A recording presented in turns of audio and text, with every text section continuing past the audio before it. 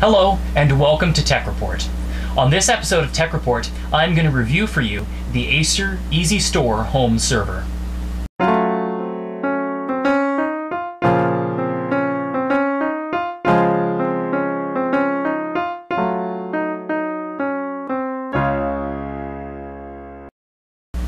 Hello, and welcome to this, my first episode of Tech Report in full high definition. Now, longtime viewers of Tech Report will know that I've done a few experiments with high definition in the past.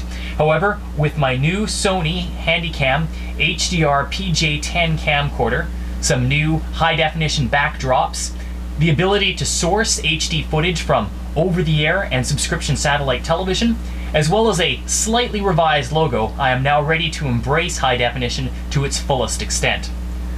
I'll have an episode of Tech Report dedicated to how my new camcorder performs later on, but for now, let's get back to talking about servers. And as many longtime viewers of Tech Report will know, I run my own web server, my own FTP, DNS, and Active Directory server off my home internet connection. Now, I recently became aware that after storing all of my movies, TV shows, and various other media formats on this server, that I was running out of hard drive space. And because the Acer Aspire Revo uh, only has a single hard drive bay, the quest for a new media server began. In this episode of Tech Report, I'm going to review for you the Acer Aspire EasyStore 340, my new home server.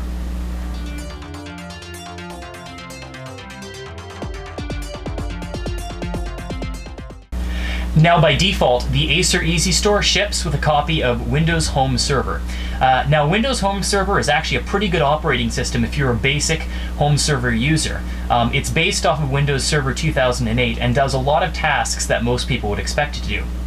Now, unfortunately for me, uh, Windows Home Server doesn't quite cut it. It's missing a few key features, uh, such as the ability to join or control a domain. Now what I've opted to do is to overwrite the original installation of Windows Home Server and instead install Windows Server 2008 Release 2, um, a full server operating system that does absolutely everything I could ever want it to. Um, now in a moment I'm going to show you just how to do this, um, but first of all let's look at some of the things that Windows Home Server can do. File serving. Windows Home Server does a great job of sharing local files and folders across a local area network.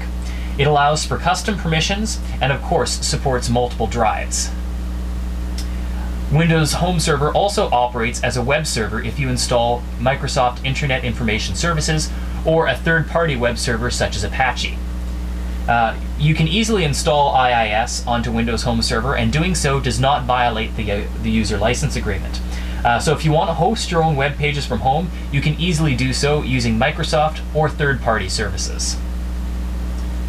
Of course, Windows Home Server can also be used as a pretty good basic miscellaneous server. Um, if you want to run third-party applications such as uTorrent uh, or a webcam capturing program, uh, you can install these programs just as you would with any basic desktop version of the Windows operating system. You can remote desktop into Windows Home Server uh, and be presented with a full graphical user interface, be presented basically with the full Windows desktop, and go ahead and install whatever programs uh, as you like. Now, if these sorts of things are what you, the only things you really want to be doing with your home server, and you're not really into modifying uh, your equipment and potentially voiding your warranty, then you should probably just uh, stop right here and uh, get to enjoying some of the great features of Windows Home Server. However, if you want to be able to run a domain out of your own house and you want your Windows Home Server box to control it, or you just want to be able to join a domain from your Windows Home Server box, then you're going to need to switch it over for a different operating system. And in the next couple of steps, I'm going to tell you how to install a full operating system, Windows Server 2008 R2, onto this little box. Now, just a quick disclaimer, um, you're going to want to back up any data that you have on your Acer home server, and I would also recommend taking the physical operating system hard drive out of the server and hanging on to it. Um, you'll want to do all of this installation on another hard drive so that if you screw up, you can always take that drive out and pop your original EasyStore hard drive back in the server, uh, boot off of it, and uh, still have a functional operating system. Now the main barrier to installing a full operating system on the Windows Home server is the lack of a graphics card.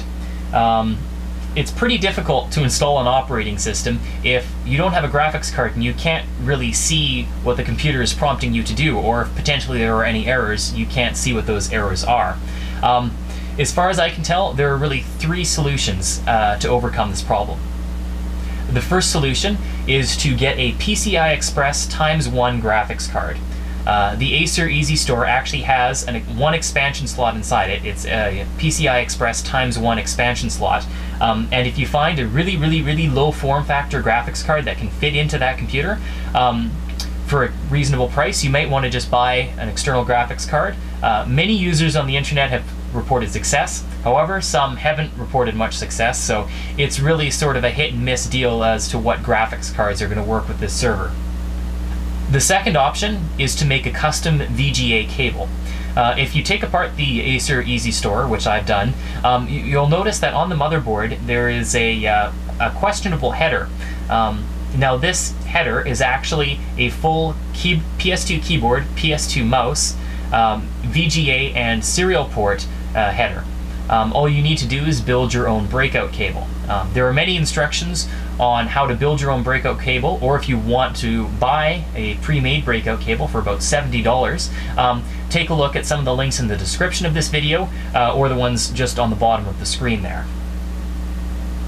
Finally, if you don't want to buy a small graphics card to put in your server and you don't really have the skills to make a cable or you're unwilling to buy one, um, you can choose the third option uh, to install Windows 2008 on this server, which is what I actually opted to do.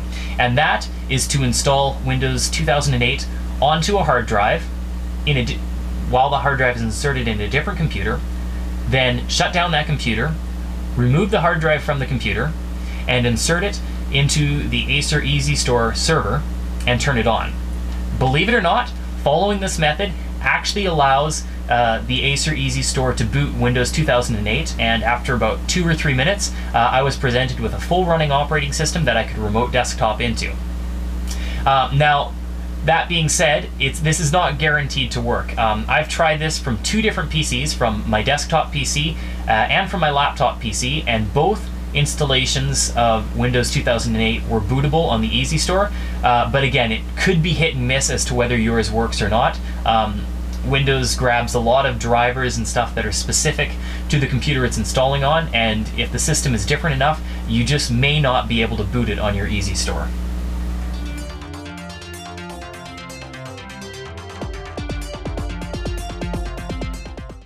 Now, after overcoming the software downfall of this server, um, I've been quite impressed actually with the hardware that's under the hood. Let's take a quick look. Um, this, this server is powered by an Intel Atom D410 processor. Uh, the processor has a clock speed of 1.66 gigahertz and is a dual-core 64-bit compatible processor. Um, I definitely know that this is a 64-bit processor because Windows Server 2008 R2 um, only supports 64-bit, and I was able to install it, uh, as you saw in the previous step, without problems. Uh, now, 1.66 gigahertz may not sound uh, like a lot of speed, However, I find it's more than sufficient uh, to run five websites, a magicJack telephone uh, device, and Cumulus weather station software, along with a webcam capturing program, uh, all at the same time. I have not experienced much lag in this configuration at all. Uh, in terms of RAM, the server ships with 2 gigabytes of RAM, uh, which can be easily upgraded. Uh, the catch is that there is only a single RAM slot in this server, um, so if you're going to want to upgrade to 4 gigabytes of RAM, you'll actually have to buy a single 4 gig chip and insert it into the server, which can get a little bit expensive. Um, of course, RAM is always coming down in price, uh, so before too long that won't be a big deal. Um, however, I have not upgraded the RAM in my server yet, and I find that 2 gigabytes uh, is more than sufficient running the applications that I detailed before. Now the server ships with a one terabyte hard drive, uh, but has empty slots for three more, uh, meaning you can easily load this puppy up with storage. Currently, I have uh, three hard drives in my Acer Easy Store: the original one terabyte, a second one terabyte, and a one and a half terabyte drive, uh, giving me a total of three and a half terabytes of storage space. Right now, that's more than enough, but I, at least I know that I have extra room to upgrade in the future if I need to. Now, the final thing I consider uh, when buying a server is uh, the power consumption that it's actually going to use. Uh, because my servers run 24 7, 365, or at least ideally, if there's no power outages, um, if I'm running a computer that's going to be taking a lot of power, it concerns me a little bit. However, uh, the Acer Easy Store takes less than 40 watts of power uh, with a single hard drive inserted, and uh, that's while the system is idling. Um, I have not actually ever seen the Easy Store, even loaded up with three hard drives, take more than 50 watts of power. And my entire networking cabinet, which includes two servers, uh, net, two network switches, a router, and a cable modem, actually draws less than 80 watts. So it's pretty easy to uh, come up with some low power. Um, some low power solutions, and uh, the Acer Easy Store really goes a long way to facilitating that. The extremely low power consumption, small form factor, and quiet fan makes the Acer Easy Store the ideal companion for a small home or office user. The easy upgradability, copious amounts of hard drive space, and the fact that the server can run Windows 2008 with ease uh, also makes it attractive for any super geek who likes to experiment with computers. Overall, I would have to recommend the Acer Easy Store uh, for any small scale networking project or for anybody who just likes to experiment with what a server can do. For Tech Report, this is Christopher, reporting.